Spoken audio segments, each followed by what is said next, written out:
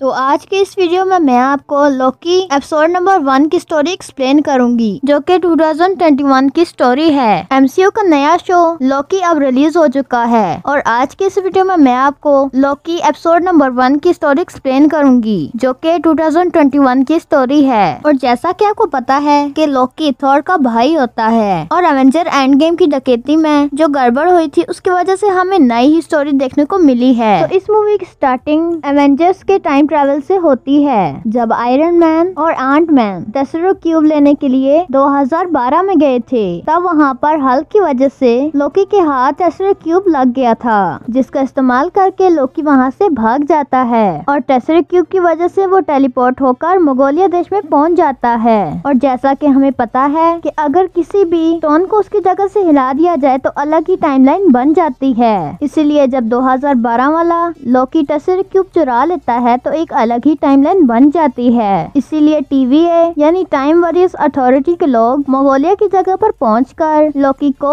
Arrest कर लेते हैं। टीवी एक ऐसी चीज़ है, जिसे तीन लोगों ने बनाया था, जिन्हें टाइम कीपर्स के नाम से जाना जाता है। लाखों साल पहले जब टाइम से छेड़छाड़ की गई थी तो अलग अलग टाइम लाइन्स बन गई थी, और सारे टाइम लाइन्स के लोगों में जंग शुरू हो गई थी। उसके बाद तीन पावरफुल लोग सामने आए, जिन्हें की टाइम कीपर्स कहा जाता है, और उन्होंने अपने पावर से सारी टाइमलाइंस को जोड़कर एक टाइमलाइन बनाई, जिसे स्केयर टाइमलाइन कहा जाता है। और उसी के बाद से टाइम कीपर सबकी किस्मत लिख रहे हैं। यानी कि वो एक ऐसा फ्यूचर बना रहे हैं, जिससे एक स्केयर टाइमलाइन के अलावा कोई और टाइमलाइन ना बने। लेकिन कभी कभी ऐसे हादसा हो जाते हैं, जिससे नई टाइमलाइन बन जाती है। और इसी को रोकने के लिए टाइम कीपर्स ने टीवीए बनाया। और टीवीए हर वक्त इस बात का ख्याल रखते हैं कि कोई भी इंसान टाइमलाइन में गड़बड़ करके नई टाइमलाइन ना बना ले। और अगर कोई भी नई टाइमलाइन गलती से या जानबूझकर बना लेता है तो टीवी वाले उसे अरेस्ट कर लेते हैं। और वो उस टाइमलाइन को रिसेट करके दोबारा सब कुछ ठीक कर देते हैं। और इसी तरह जब लॉकी टेलीपोर्ट होकर मंगोलिया पहुँचा तो टीवी वालों को पता चल गया और उन्होंने उसे अरेस्ट कर लिया।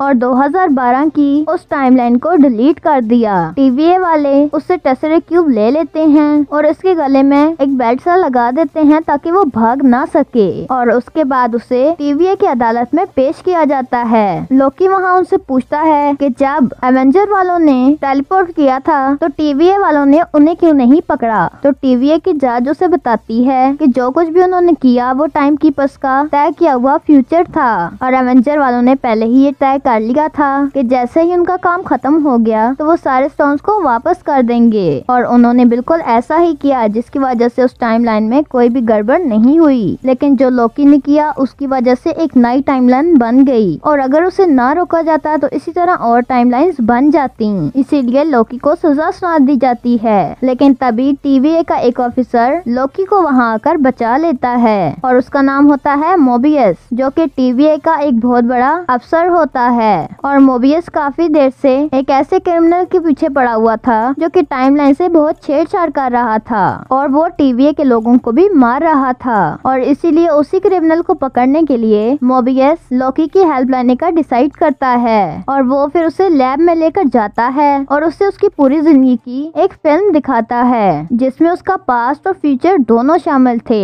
मोबियस ये जानना चाहता है कि वो सब लोगों को इतना परेशान क्यों करता है, लेकिन यहाँ पर लोकी वो उसे कोई भी जवाब नहीं देता और लोकी टीवी वालों को बहुत कमज़ोर और बेवकूफ़ समझ रहा था। लोकी वहाँ से भाग जाता है और उस जगह पर पहुँच जाता है, जहाँ पर टेसरिक क्यूब रखा हुआ था। लॉकी टेसरिक क्यूब तो ले लेता है, लेकिन जब वो देखता है कि वहाँ पर और भी इन्फिनिटी स्टोन पड़े हुए हैं और वहाँ पर उन स्टोन्स की पावर काम नहीं कर रही तो उसे यकीन आ जाता है कि टीवीए वाले बहुत ही ज़्यादा पावरफुल हैं। तो वो दोबारा से मोबियस के ऑफ़िस में जाता है और वो फ़िल्म दोबारा से देखना शुरू कर देता है। और उससे वो फ़िल्म देखकर पता चल जाता है कि फ्यूचर में उसके बुरे कामों की वजह से उसकी माँ और बाप मर जाएँगे और उसके बाद वो खुद भी बहुत बुरी बहुत मरेगा। फिर वो मोवियस के सामने सिलेंडर कर देता है और कहता है कि उससे किसी को भी मारने में मज़ा नहीं आता। और वो इसीलिए ऐसा करता है क्योंकि वो अंदर से बहुत ही ज़्यादा कमज़ोर है। और वो इस तरह दूसरों को डरा कर ताकतवर दिखना चाहता है। और मोबियस उससे कहता है कि वो उसकी हेल्प इसीलिए लेना चाहता है क्योंकि वो जो क्रिमिनल है, वो कोई और नहीं, बल्कि किसी और टाइमलाइन का लोकी ही है। और क्योंकि लोहा ही लोहे को काट सकता है तो उसने लोकी को अपने साथ शामिल कर कर लिया।